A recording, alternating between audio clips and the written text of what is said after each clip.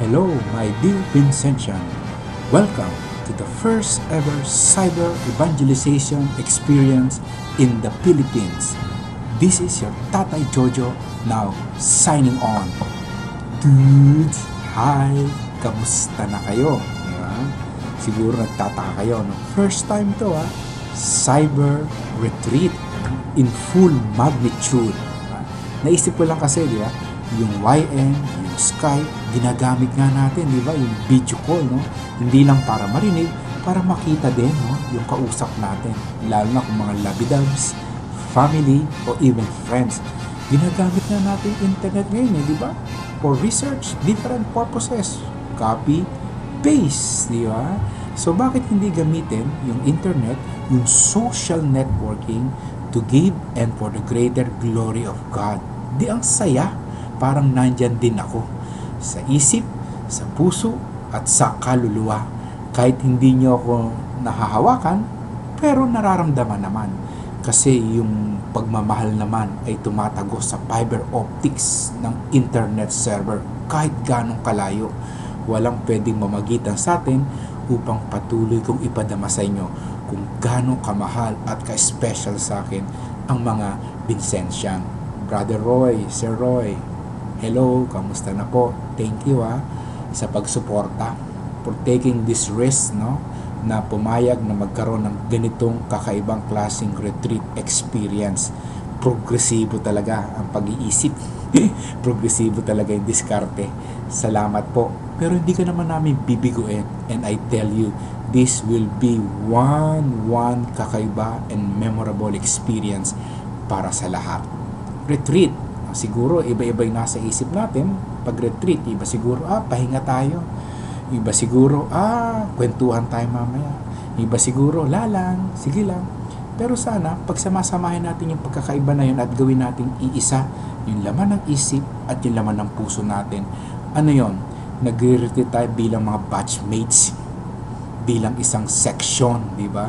Na minsan lang natin pag-usapan yung buhay-buhay at minsan lang natin pag-usapan yung Diyos sa gitna ng buhay na yon. Kasi pag Diyos na yung pag-uusapan, wala na eh. Lumilipad na yung isip, di ba? Pero sana gawin nating exciting no yung pagkikipag-usap, yung encounter natin kay God. Kaya nga gagamit tayo ng mga iba't ibang pamamaraan just to bring out the best in us. Siguro naman kanina ay napakinggan niya ng orientation, di ba? Siyempre, pinakamahalaga doon yung oras ng kainan. Kaya walang paistara na pagkain, kain, di mamaya na. No? Hindi to hotel na mayroong service. No? Talagang pagkatapos ng period ng kainan, wala ka, ligpet, gutom ka. Dudes.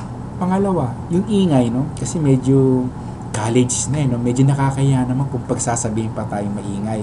Actually, ewan ko nabanggit ni sister na pag alauna, minsan kasi, eh, pinagbabawalan lumabas pag alauna na. Dapat tulog na tayo kasi baka matsambahan mo, masalubong mo si father. Hawak-hawak yung ulo. Hindi nakakatakot. Hawak-hawak yung ulo kasi masakit ang ulo. O di ba? Pag masakit ang ngipin, hawak ang pisngi. Hindi ko man sinabing dala-dala ang ulo. Ano yun? Parang adik.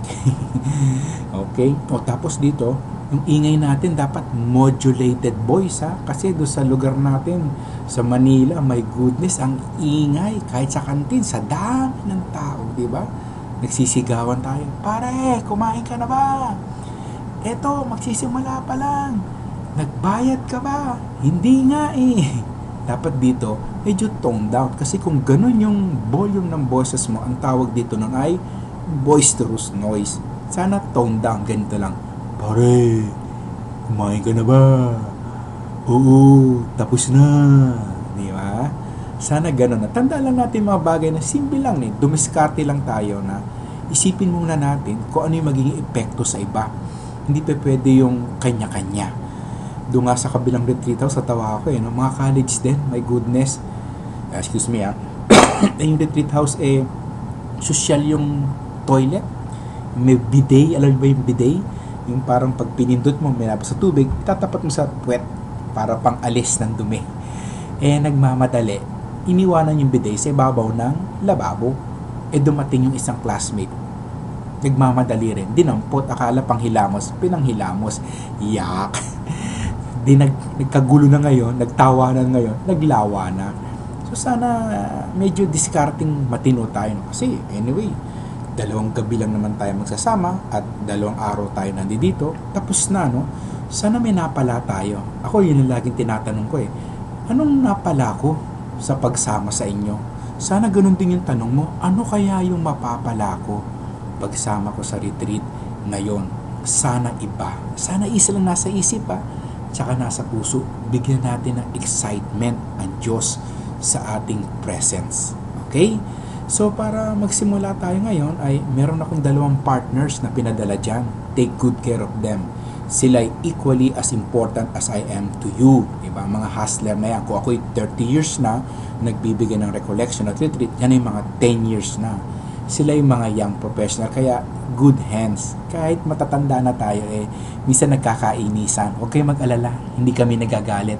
Napakahaba ng pasensya namin. Lalo na ako. Pero minsan kasi nachachambahan na ano eh, na magalit ako.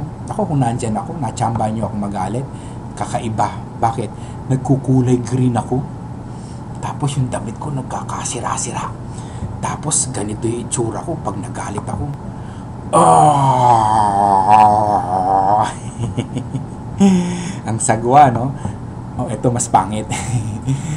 okay? So sana gawin nating maayos, no? Medyo konting sakripisyo lang pero I tell you, yung konting sakripisyo na yon ay malaking pagpapasalamat na namin kasi malaki yung magagawa nun para sabihin natin, may napala nga tayo sa ating retreat. To start with, kanta muna tayo ng masaya. Kasi hindi naman kami yung retreat group na o yung retreat team na nagpapaiyak. Kasi kadalasan ganun, di ba? Pag walang iyakan, hindi successful. Hindi, kami nagpapasaya. Kasi gusto namin ang tingin mo sa buhay, masaya kaya ngayon kakantahin natin, Kamusta ka na? Kasi gusto naming makita natin sa isa't isa sa ating mata na masaya tayo. No? Hindi yung mga iba na papatugtog ng malungkot. Di kita malilimutan. Wala na si ina. Nagliliwanag ang bahay niyo. Iyak ka naman. Di ba? Hindi ka na nakapagpaalam. Tapos may biglang tumapik sa likod mo paglingon mo, si ina pala na malengke lang. Di ba? Masaya tayo. Pero sana yung saya natin ay hindi yung ingay, kundi yung sayang nang gagaling sa loob. Alam niyo ba yon Yung, yung joy within. Sample, pumasa ka sa case study mo. Grabing saya. Sinagot ka ng shoota mo. Grabing saya. Dinagdagan yung allowance mo. Grabing saya pumasa ka doon sa isang napakalupit na professor, grabing saya. Ang tawag doon, inner joy. Diba? Kasi outer joy, yun yung mga saya na pang videoke, pang karaoke, pantambayan, pantoma. Masaya din yan. Pero yung sayang sasabihin ko sa iyo, may kapit at nananatili. Okay? So, kanta muna tayo ha. Pagkatapos ng kanta, may sayaw yan ha. Para medyo malusen up naman tayo. Mawala yung fear, mawala yung takot, mawala yung hiya at mag-enjoy tayo na may katuturan, na may kabuluhan yung ating retreat. Okay? Sige, kanta muna tayo. Yung title ng kanta ay Kamusta Ka Na? Kamusta ka na? Kamusta ka na? Alam ko sa iyong mata na ikay masaya. Muli na naman tayong magkasama-sama Upang umawit magpuri sa kanyang Kamusta ka na? Kamusta ka na? Kamusta ka na? Puso ko'y nagagalak na ikay makita. Sarap ng feeling, Sarap ng feeling. Di ba? Pagsama-sama natin. Pinupuri siya. Pinupuri siya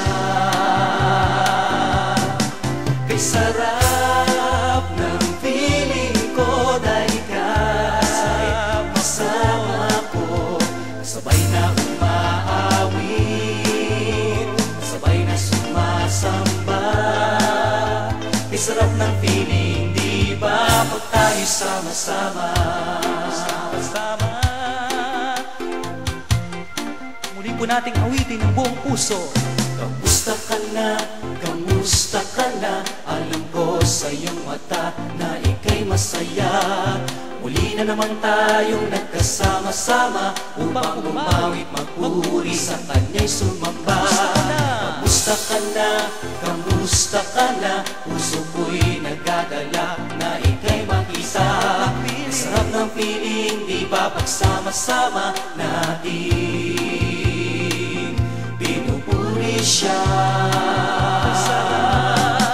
Kay sarap ng piling ko Dahil kasama ko Kasabay na umaawit Kasabay na sumasamba. Kay sarap tayo sama-sama Kay sarap Kay sarap ko Dahil kay kasama ko Sabay na umaawit Sabay Kay sarap ng piling Di ba? Pag tayo sama-sama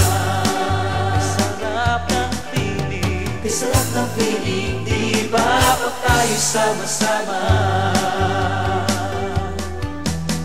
Kay sarap ng piling Di ba pag tayo sama-sama